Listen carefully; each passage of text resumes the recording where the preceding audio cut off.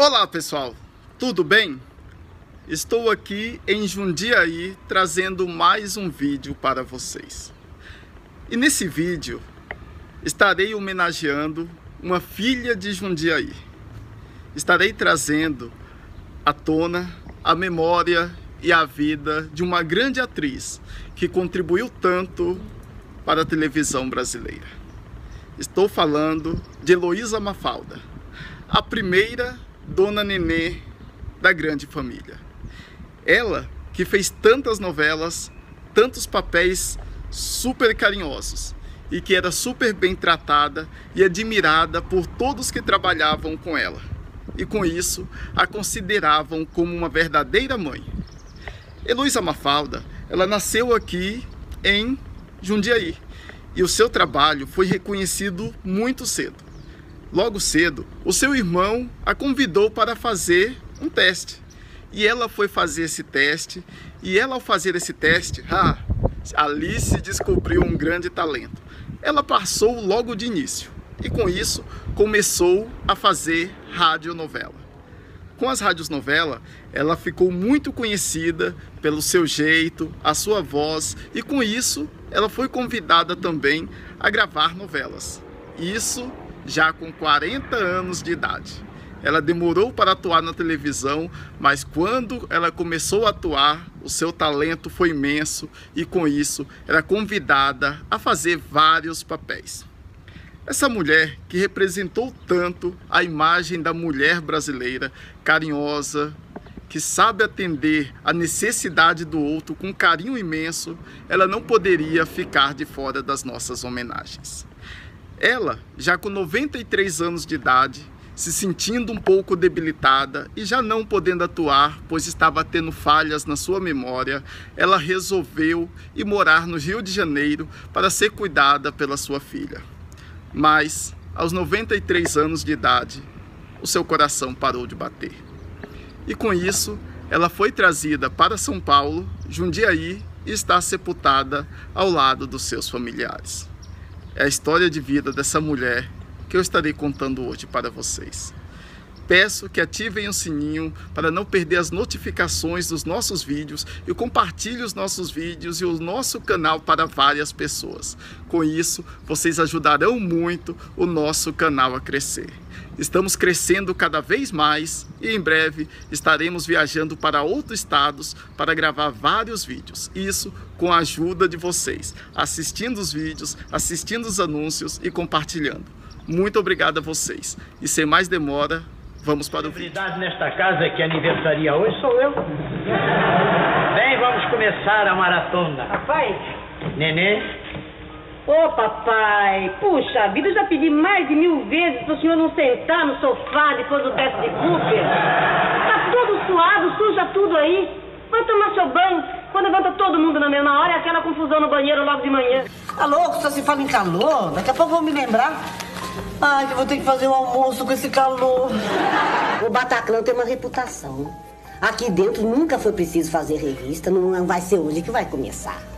Eu sou médica, eu estou num atendimento de emergência. Eu preciso que o senhor me dê uma mãozinha. Maneira, seu guarda. Posso? Pode. Ah, Deus, Deus lhe pague. Muito obrigada.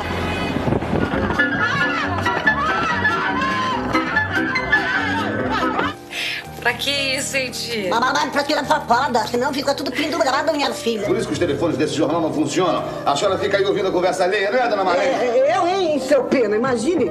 Eu, eu sou uma funcionária. Alô, folha, folha, porque... Nenhuma palavra sobre o que se passou aqui nesta sala hoje. Eu disse que isso é roubo!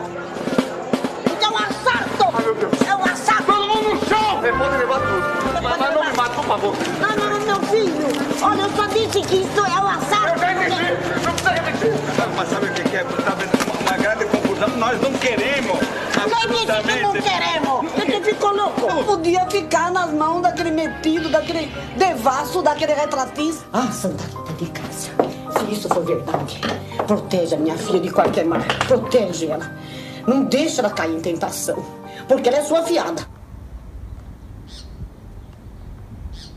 Esse aqui, pessoal, o túmulo dessa grande atriz. estarei mostrando para vocês agora o local, né, para vocês estarem dando uma olhada.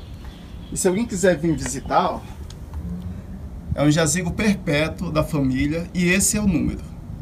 Fica aqui próximo do velário da igreja. O velário, onde se acende as velas, certo? Aí vocês podem procurar que está ao lado. Vocês encontrarão o túmulo dela. Aqui, pessoal, vocês podem ver, ó, como eu falei, ó, existem outras pessoas da família sepultadas aqui também junto com ela. E aqui está a placa dela.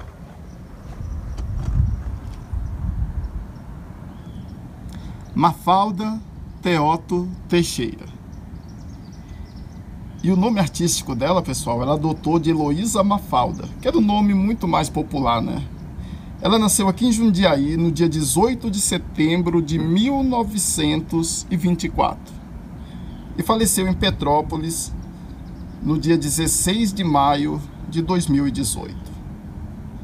Foi uma grande atriz brasileira. Então essa aqui, ó, a placa dela, para vocês estarem dando uma olhada no local onde ela está sepultada. Com déficit de memória, né, pessoal?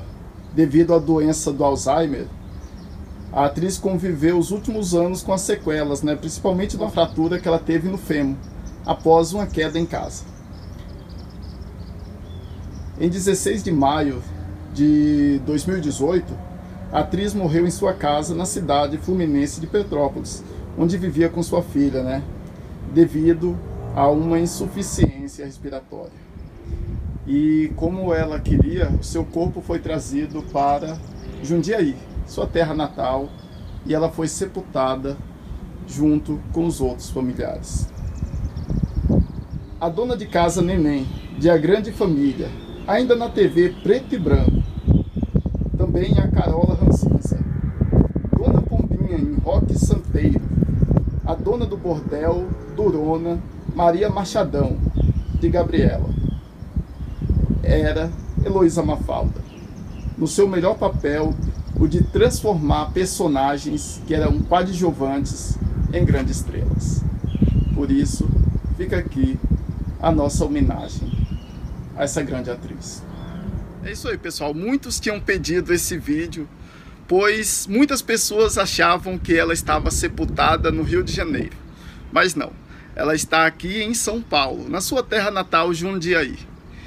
E essa mulher, que os papéis que ela pegava, que era sempre de coadjuvante, mas que com o seu talento, o seu dom, o seu carisma de interpretar e de estar ali junto com os outros atores e interagir com o público, ela transformava todos em papéis principais, papéis memoráveis que não podiam ser esquecidos.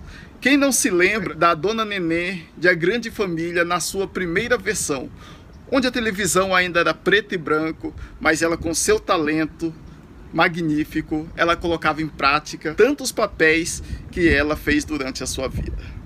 Ela não poderia ser esquecida não poderia ficar de fora das nossas homenagens. Então, essa é a nossa homenagem para essa grande mulher que tanto fez pela televisão brasileira e também pelas telenovelas. Fica aqui o nosso carinho à família por ter trazido ela para a sua terra natal, que foi um pedido dela. Ela que se foi aos 93 anos de idade, mas que deixou a sua marca por onde ela passou, com seus filhos, netos e todas as pessoas que conviveram com ela e tiveram a alegria de contracenar junto com ela. Essa é a nossa homenagem para essa grande mulher.